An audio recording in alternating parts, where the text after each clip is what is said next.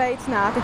Jaunā mācību gada sākums ienes pārmaiņas daudz cilvēku dzīvē, tostarp arī satiksmes jomā. Tāpēc šodien raidījumā skatieties.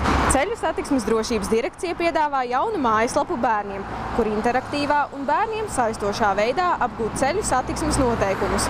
Stāstīsim arī par to, kas visiem satiksmes dalībniekiem dodoties skolas vai darba gaitās jāievēro intensīvas rīta satiksmes laikā.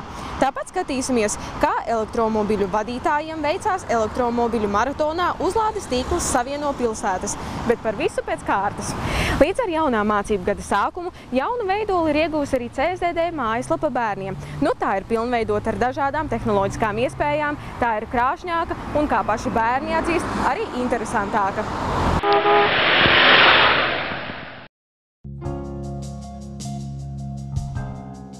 Uzlabotajā CSDD mājaslapā bērniem ir plašs tēmu spektrs. Tajā var atrast visu, kas saistīts ar gājēju, pasažieru, velosipēdu un mopēdu vadītāju drošību. Turklāt noteikumu iepazīšana un atkārtošana bērniem nu būs interesantāka, jo tie ir pasniegti dažādos veidos - caur testiem, spēlēm un videoklipiem.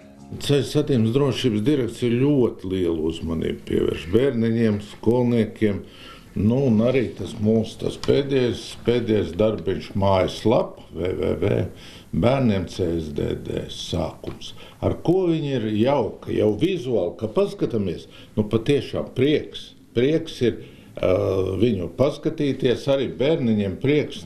Te gan velospēdu vadītājiem, teiksim, uzreiz varam iesniegt velospēdu vadītājiem jautājumu. Kādas tad, nu, ko tikai apbraukšana, krustojums, šķērsošana, teiksim, velospēda ekipējums. Uzreiz parādās viss, ar interesi varam skatīties. Tas tā vizuāli ļoti labi uztverams materiāls, kas bērniņiem, sevišķi mūsdienu bērniņiem, ka viņš to var apskatīties datorā, planšetē. Galvenais mērķis šādai lapas uzlabošanai ir saistīts ar kopējo ceļa satiksmes uzlabošanu. Interaktīvā veidā pasniegti noteikumi bērnos raisīs lielāku interesi un atvieglos noteikumu apguvi. Ceļa satiksmes šī statistika nav no labākām. Apmēram gadā cieši 500 bērniņu. Ja mēs paskatāmies šī gada pusgadu, tad četri bojā gājušie, kas ir ļoti smagi tādi tādi cipari. Un, principā, ir viena daļa, kurus varētu novērst bērni, ar bērniem vairāk strādājot, viena daļa, kur grēko uh, lielie, kur bērni cieši kā pasažieri. Un tādu gadījumu pusgadā ir veseli 80. Pagājušajā gadā mēs varam gan teikt, ka 98, un stāvoklis ir uzlabojies, un vispār satiksmes drošības stāvoklis uzlabojies. Bet, ja mēs paskatāmies šo skaitli 80, nu, tas ir jau trīs klasītes mums ir apskādētas. Jaunā veidola mājaslapa ir piemērota ik vienam satiksmes dalībniekam neatkarīgi no vecuma. Tā ir piemērota noteikuma apguvē ne tikai mājās, bet to savā darbā izmanto arī skolu pedagogi. Piemēram, Valmieras sākuma skola jau līdz šim ir aktīvi pievērsusies ceļu satiksmes noteikuma apgūšanai, tāpēc īpaši atzinīgi novērtē veiktos uzlabojumus. Šī lapa jaunā ir interesanta, saprotamāka. Man patīk, ka ir video, ir filmas, ir testi, ir uzdevumi, spēles, puzles. Nu, bērni var strādāt radoši. Prieks par to, ka šajā mājas lapā arī tagad ielikts ir mācību. Uh, mācību grāmata, jāsaka tā, mācību grāmata. Un tur ir astoņi bloki un skolotājs, kas gatavo skolēnus lai nokārtotu tiesības, ir apgādāts ar visu, ar darba lapām, ar testiem, ar eksāmenu, ar mācību grāmatu. Audzinātāja Berga skaidro, ka kopā ar klases bērniem aktīvi iesaistās dažādās CSDD akcijās, iepriekš kopīgi apguvuši velosipēda vadītāja noteikumus, iegūstot vadītāja apliecības. Savukārt šogad startēs CSDD konkursā Gribu būt mobils, un gan skolotāji, gan skolēni atzīst, ka šī mājaslapa palīdzēs sagatavoties konkursam. Pirmajā vietā ir bērnu drošība. Mēs skolotāji to ļoti nopietni domājam. Visi skolotāji par to domā. Es domāju, arī visā valstī domā, pirmajā vietā ir bērnu drošība. Un CSDD šajā jomā ļoti nāk pretī, lai apgūtu pirmās iemaņas, velobraukšana, tiesības, gājējs, pasažieris, lai bērni zinātu šos visus noteikumus. Lūgums, lai vecāki atbalsta un arī aizdomājas par savu bērnu drošību. Jauno mājaslapu bērniem pozitīvi vērtē arī paši bērni, kas iepriekš kopā ar skolotāju to ir iepazinuši, izpētījuši un tā kā noteikuma apgūšanai jau pievērsušies gana sen, var salīdzināt to ar iepriekšējo versiju. Mm, vecā mājaslapa nebija tik eh, krāšņa un jaunā ir diezgan arī skaista. Un... Kas tur bija interesants, ko tu redzēji? Mm, dažādas spēles bija un vairāk bija ko darīt. Diezgan interesanta, krāšņa, vairāk lietas, ko darīt. Ļoti atšķirās ar iepriekšējo, daudzreiz labāk. Modernāk, to, ka izveidoja 3D formātā. Iepriekšējā mājaslapā pildījām daudzus eksāmenus, testus priekšvēlspēdu vadītājiem. Un šajā mājaslapā, ko jūs darīsiet? Mm. Mēs arī atkārtosim droši vien zināšanas, kādas jau zinām, un iemācīsimies vēl jaunas. Un droši vien apskatīsimies, tā kā tur ir tā sadaļa ar ceļu zīmēm, droši vien tās arī izpētīsim. Man patika, jo tur bija viss tā kā interesantāk un um, daudz tā kā spēles bija vairāk, un, um, jo iepriekšējā nebija. Iepriekšējais bija tā kā parasts tāds. Un, um, kā vieglāk arī varēja, manuprāt, atrast tajā jaunajā. Jaunā mājaslapa patika labākā, jo tur bija vairāk lietas, ko darīt. Uh, un, uh, viņa bija ļoti interesanta un krāsaina, un tas arī mudināja uh, vairāk skatīt viņu un mācīties. Man diezgan patika, ja tā salīdzina ar pagājušajā, jo nu, viņa tiešām arī ir jaunāka un modernāka un vairāk attīstīta nekā pagājušajā. Un man būs iespēja izmēģināt viņu, jo man pašai vēl nav tās tiesības. Eh, es mācīšos vairāk un apmeklēšu diezgan bieži. Man ļoti piemēram, patika, ka tur varēja paskatīties video, un ka tur vēl bija grāmatas. Var izlasīt kaut ko. Um, man patika tas, ka uh, tur ir viss krāsains un um, nu, 3D formātā. Man patika jaunā mājaslapa, jo 3D formāts arī palīdzēja kā, vairāk uzzināt visu, un, un arī spēles daudzas, kur ir viss kaut kas jāzina, arī ļoti labi palīdz. Tāpat CSDD šogad skolās ir ieviesuši arī vēl kādu jaunumu. Nu, velosipēda vadītāja apliecības skolēni varēs iegūt skolā. Ceļu satiksmes noteikumus ar īpašiem CSDD sagatavotiem materiāliem mācīs paši skolotāji, bet līdz tam bērniem ir cītīgi jāmācās. To, kā ar noteikumu ievērošanu veicies līdz šim, pārbaudījām kādā steidzīgā darba dienas rītā, kad kopā ar valsts policijas ekipāžu devāmies apsakot Valmieras izglītības iestādes un satiksmi pie tām.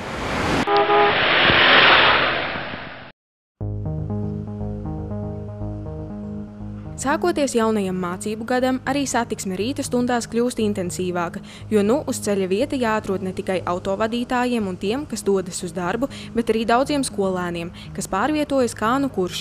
Citu ar automašīnu ved vecāki, lielākie skolēni varbūt pie automašīnas jau ir tikuši paši, citi izmanto sabiedrisko transportu, bet daži pārvietojas ar motorolleriem vai mopēdiem, savukārt citi ar velosipēdu vai iet kājām. Turklāt lielākoties viņi visu skolu dodas aptuveni vienā laikā, kas to padara par iespējams daudzveidīgāko satiksmes plūsmu, kas no visiem tās dalībniekiem prasa nevien īpašu piesardzību, bet arī pacietību. Šī stunda darbīga ir arī policijas darbiniekiem, kas drošības nolūkos nereti veids pārbaudes, sekojot līdzi tam, vai ceļu satiksmes noteikumus ievēro kā bērni, tā viņu vecāki. Vienam no šādiem braucieniem, apsakojot Valmieras pilsētas skolas un bērnu dārzus, policijas ekipāžai pievienojāmies arī mēs. Jāsaka, ka šis rīts pilsētā bija diezgan mierīgs, taču tāpat saskārāmies ar dažiem pārkāpumiem, piemēram, mobilā tālruņa izmantošanu pie autostūras vai drošības jostu neizmantošanu. Policisti lielu uzmanību pievērš bērnu pārvadāšanai, tam, vai mazākiem bērniem ir autosēdeklīši un vai viņi tajos ir arī aizsprādzēti.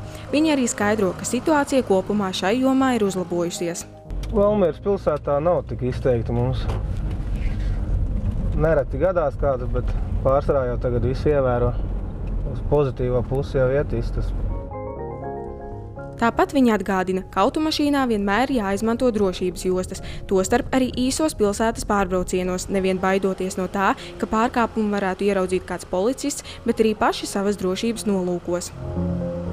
Savukārt par nedaudz mazāku motorizētu transporta līdzekļu, mopēdu un motoroleru vadītājiem policijas darbinieki vairs tik pozitīvi neizsakās. Protams, ir tādi, kas ievēro ceļu satiksmes noteikumus un vienmērīgi iekļaujas pilsētas satiksmē, taču ir arī tādi, kas noteikumus pārkāpj, piemēram, pārsniedzot atļauto ātrumu, citreiz neizmantojot aizsargķiveres, kā arī dažbrīd intensīvas satiksmes laikā pa brauktos vidus braucoties garām automašīnām. Viņiem ir atļautais ātrums 45 km/h, tad viņi tur izņēmuši vai nu tos ierobežotājus vai ko, tad, tad, tad baros, jā, tur viņi braukā. Tā mums ir problēma. Gan iedzīvotāji neapmierināti sūdzās, ka viņi baros trokšņus taisa tur. Gan pārkāpj daudz noteikumus. Vecāki līdzi neskatās saviem jauniešiem, ko dara. Turpretī tiem skolēniem, kas ceļu uz skolu mēro ar velosipēdu, jāatgādina, ka gadījumā, ja skolēns vēl nav sasniedzis 12 gadu vecumu, viņam galvā ir jābūt aizsprādzētai aizsargķiverei. Taču visiem velosipēdiem, it īpaši rītiem kļūstot ar vien tumšākiem, ir jābūt aprīkotiem ar atstarotājiem un gaismas lukturiem. Taču tad, ja to nav, velosipēda vadītājam ir jāizmanto atstarojošā veste vai tāds apģērbs, kurā ir iestrādāti gaismu atstarojošie elementi. Tāpat velosipēda vadītājam jāatceras, ka šķērsojot ielu jāpārliecinās par to, vai tas netraucē gājējus vai citus satiksmes dalībniekus. Policisti norāda arī uz kādu pozitīvu situāciju, proti lielākajai daļai velosipēdu vadītāju ir nokārtotas velosipēdu vadītāja apliecības, ko, pateicoties ceļu satiksmes drošības direkcijai, itin ērti var nokārtot skolās, ko lielākā skolēna daļa arī izmanto. Atstarojošie elementi ir svarīgi arī kājām gājējiem, un, kā norāda policija, no ar mazu atstarotāju vien nepietiek. Tagad jau pēc noteikumiem jau jābūt ir vestei vai apģērbā iestrādātiem gaismu atstarojušu materiālu elementiem. Vairs atstarotājs jau. Liks atstarotājs nedara. Jā. Maz.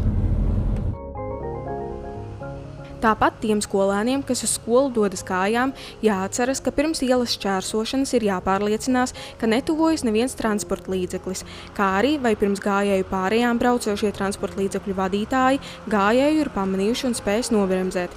Arī policijas darbinieki norāda, ka lielākoties problēmas ir ar skrejošiem bērniem, kas nevienmēr pārliecinās par drošību uz ceļa, vēloties ātrāk satikties ar draugiem vai kavējot pirmās mācību stundas sākumu.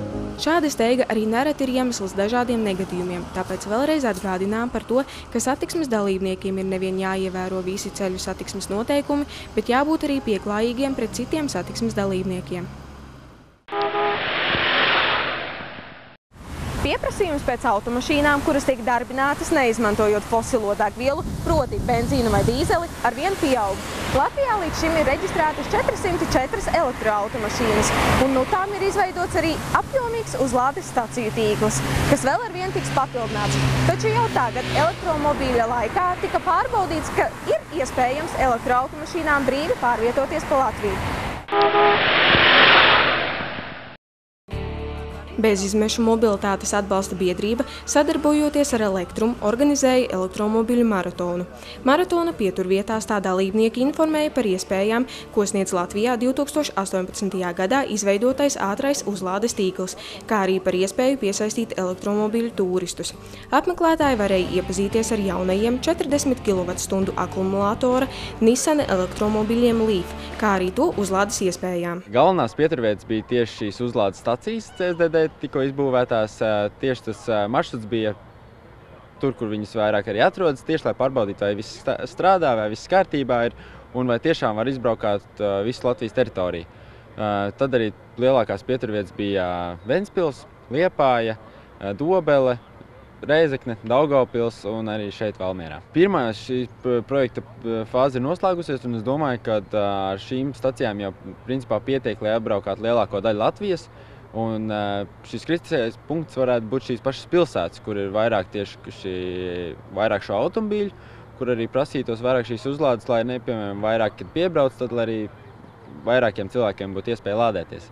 Nu, un tad jau, kad nākošais posms būs noslēdzies, domāju, ka tas pārklājums būs vēl labāks. Šis, tā teikt, bija tāds pirmais brauciens, kad mēs tādu garākus posmus braucam. Līdz šim nebija tādi garāki posmi sanākuši. Un arī tas uh, braukšanas stils mainās. Nav tā, ka parastajām automašīnām, kad zini, ka tu varēsi diezgan daudz kur piebraukt, uh, uzpildīt un braukt tālāk. Bet šeit tieši vairāk uh, pievērš uzmanību tām vietām, kur šīs stācijas ir sāc plānot savu maršrutu, kur tu vairāk piestāsi, kur tev būs jāpavada laiks mazliet ilgāk lādēšanās.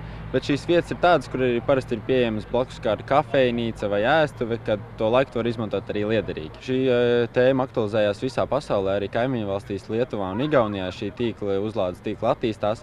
Un tas būs neizbēgami, ka arī Latvijā tie uzlādes tīkli attīstīsies attīstīsies vairāk šie uzlādes vietu piedāvātāji, un tad arī tālāk būs labvēlīgāka vide cilvēkiem, kas brauc ar elektroautobīļiem. Viens no elektroautomašīnu plusiem ir tā energoefektivitāte.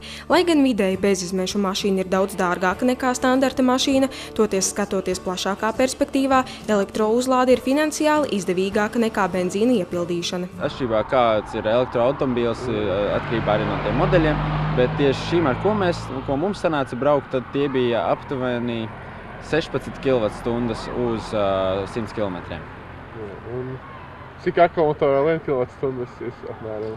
Uh, ja, ja lādēšanās notiek mājās, tad šīs kilovatstundas tiek uh, aprēķināts pēc tāda tarifikācija, jums ir mājās. Mm. Bet, ja lādējam šajās ātrās uzlādes stacijās, tad uh, tarifs ir atkarīgs no laika, cik ilgi jūs lādējaties. Uh, viena minūte maksā 15 centus. Tas jā, atkarīgs arī no kādā stāvoklī ir akumulators. Ja viņš ir pareizajā temperatūrā un arī saņemt pilnu šo uzlādes jaudu, tad tas svārstās no 25 līdz 40 minūtēm.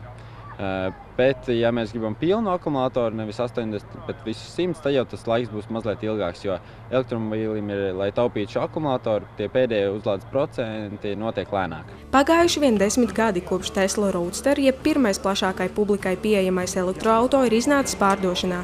Šo desmit gadu laikā ir pārdots vairāk nekā miljons elektromašīnas. Pierādījums, ka jaunā tipa motori nākotnē dominēs auto industrijā, ir nenoliedzami, kā arī jau vairākas valstis ir paziņojušas, ka atteiksies no benzīna un dīzeļu mašīnu reģistrācijas. Savidojumā mēs tur kādi nu, 25 kādreiz sabrauc, vairāk, bet um, vispār es, es lūdzu uzzināt skaitļus tieši pirms, um, pirms, mar, pirms šī maratona, ja, ir reģistrēti Latvijā 404. Teslas ir apmēram, apmēram 20.